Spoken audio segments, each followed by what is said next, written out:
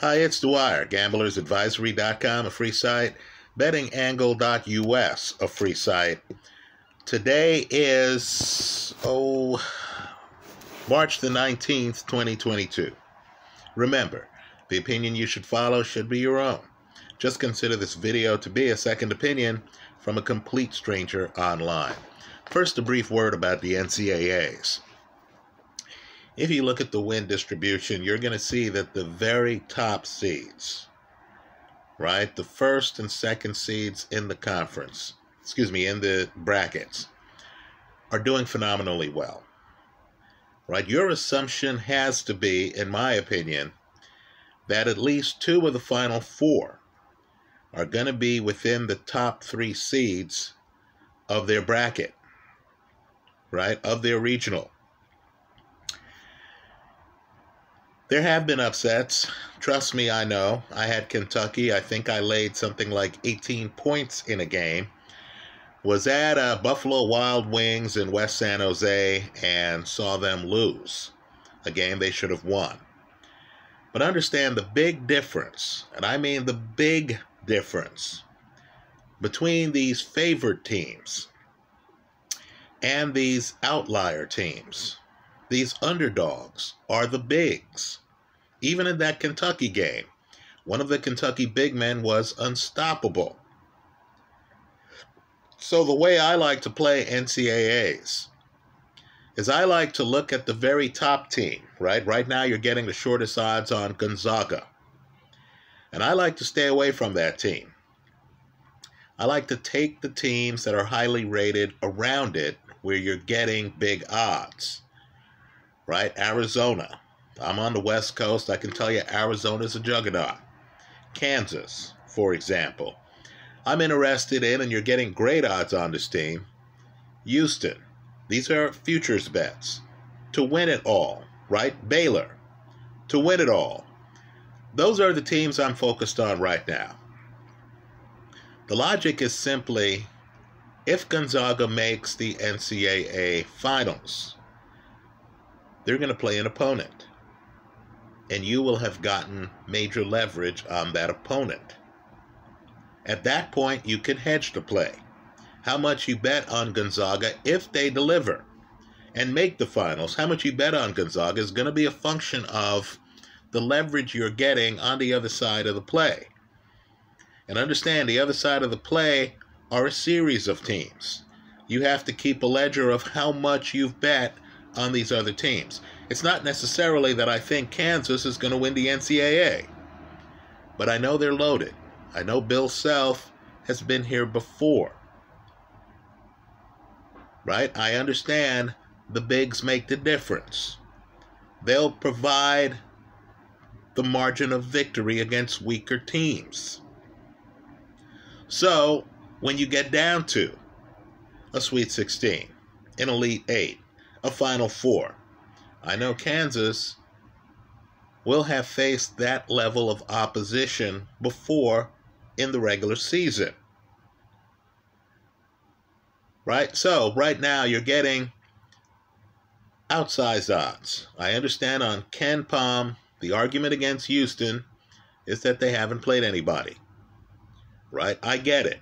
But Kelvin Sampson has been deep in the NCAA tournament before, their head coach right? You're getting them at way out odds, far greater than 10 to 1, right? That's the kind of high seed that you want to have part of your betting portfolio on. Again, not because you think Houston's going to win it all. It's just that when you look at odds distribution, you realize that Houston is likely to be among the last teams standing. Right? One of the final bets I'll make in this tournament will be on Gonzaga, right? Gonzaga's overpriced right now. There's something like a plus 200 to win it all, right? One of the final bets I'll make will be on Gonzaga, and it'll depend on how much I've spent on other elite teams that I think might make the Final Four. Just understand, though, that if Gonzaga falls, and Kentucky, of course, SEC team, John Calipari, a former NBA coach, very successful NCAA coach, fell apart in that game. right? Threes do hurt big teams, right? Because an opponent just needs to have a guy who is adept at getting open behind screens. These are young players. You're only seeing this team once. You don't quite know your opponent's weaknesses. You don't quite know how to D up that three point shooter. So Kentucky blew out, right? They they crashed and burned. It's even more interesting because that game went into overtime and you thought, "Oh, with 5 extra minutes, Kentucky will assert their dominance." They did not. Understand that could happen to any elite team. But I believe just like Kentucky had a big in that game that was unstoppable, you're going to find that Kansas, Baylor, Houston, Arizona have bigs that are unstoppable in key moments. That's why these teams are high seeds. Right? I I vividly remember when Villanova won the NCAA. I've seen long shot teams win the NCAA tournament it's possible, it's also unlikely. You want to focus on the top two seeds, depending on the facts, maybe the top three seeds in a given regional.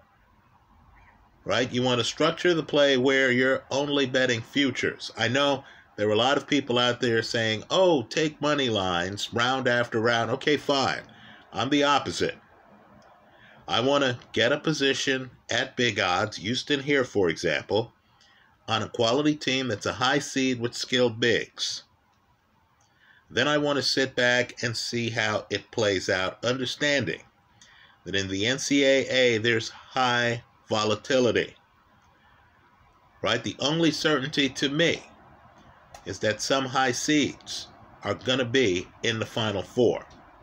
That's what I'm banking on right? I'm not going to get too carried away when a UConn loses a fifth seed to some other team and stuff like that. I understand too that a 15 seed has already won a game in this tournament. Okay, okay, that's all true. Lower seeded teams tend to fade. We're going to reach a part in this tournament where the lowest seeded team is probably going to be a fifth or sixth seed. You want to concentrate on the good teams with good bigs. You want to stay away from the overpriced favorite until you have to pick them in a Final Four or Finals game just to protect the investment you have in their opponents. That's how I see it. Let me hear from you. This is one man's way to play the NCAA right? The basic premise is sooner or later talent takes over, big talent, right? That's not to say that there haven't been guard MVPs of the NCAA tournament. But all I'm saying is the difference between high seeds and low seeds tends to be the quality of their bigs, forwards and center. Right? Height, low post move, back to the basket skills, leaping ability rebounding, that rules the day. The teams I'm focused on right now, I'm staying away from Gonzaga. I know they're talented. I'll wait for them to get to a Final Four or a Finals before I hedge it, right? By putting money on them. But the teams I'm focused on are Kansas. How are you getting such great odds on Kansas? You're getting better than 5 to 1, right? Arizona, folks, they're a juggernaut. The only reason we aren't focused on Arizona is Gonzaga has sucked all the oxygen out of the room. Baylor and Houston. Those are the four teams I'm focused on. It's futures betting because I want leverage. That's how I see it. Let me hear from you. I hope you leave your comments in the comment section of this video. Tell us how you're doing it.